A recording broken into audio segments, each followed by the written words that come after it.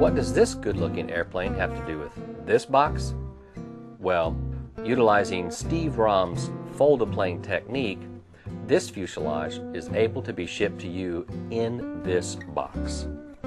Just add a little epoxy, well, okay, a lot of epoxy, some cutting, sanding, and you could have a fuselage formed in less than a week, like I did. The parts are vacuum bagged and have a beautiful smooth surface. The old days of filling and finishing your fuselage are over. Here you can see all the parts laid out on my work table.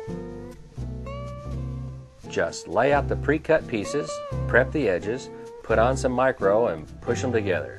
Let dry and add a couple of layers of fiberglass to each side and you're done. As my assistant Victoria demonstrates, it's really not difficult at all. One of the things that I decided to do before I put it in its cradle, I decided to do sanding while on a flat surface. I got Victoria in on the process as well. She's a good little helper.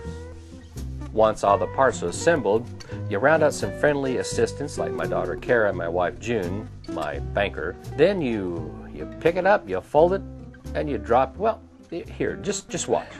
Okay, here we go. It's so heavy, I don't think I can do it. Okay, just slide it right on in. Okay, it's not in. Okay, here you go. That's it. And as June says, Well, that wasn't hard. okay, you got it? I said it would be hard.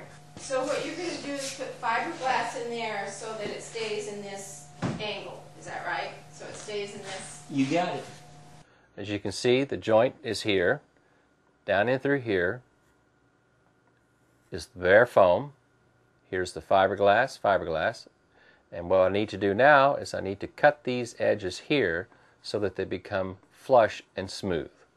Here's an inside shot of the fuselage. You can see the joint here and going across to the other side over here. We'll cut this in order to make it fit nice and smooth like the rest of these joints do here.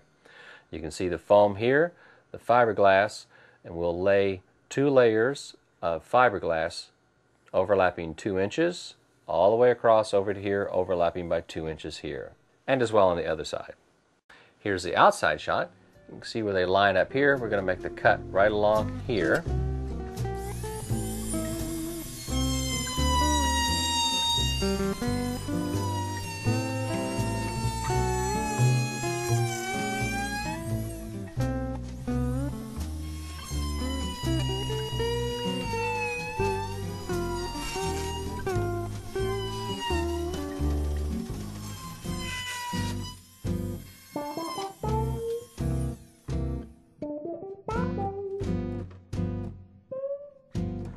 And here's what the fuselage looks like once the corners have been cut, microed, so you can see the joints where each section has been applied, and you can also see the bare foam where we're going to lay the fiberglass in to make this now a rigid tub.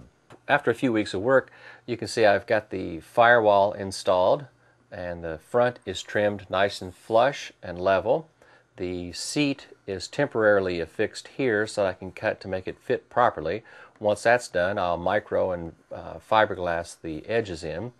The bulkhead is in, and then after I get this seat back in, I'll start working on the ruddervators. As you can see, the entire V-tail is constructed on the airplane. I've installed my antenna underneath the fiberglass for my radios, and the next step for me in this process is to take this entire section, to remove it, I'll cut along this line along the top and on the bottom side, dig out the uh, foam that's underneath here, build up some fiberglass layers for, for reinforcement and strength. I'll add the three hinges and that will give me a movable surface here. This will be my elevator and my rudder, thus the term ruddervators. This has been an extremely fun airplane to put together so far.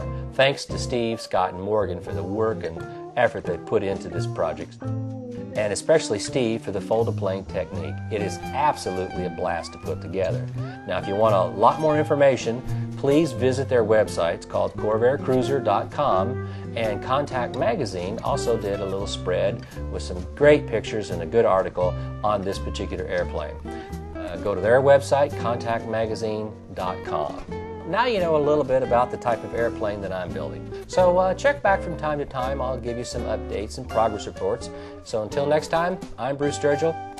Enjoy the pursuit of light.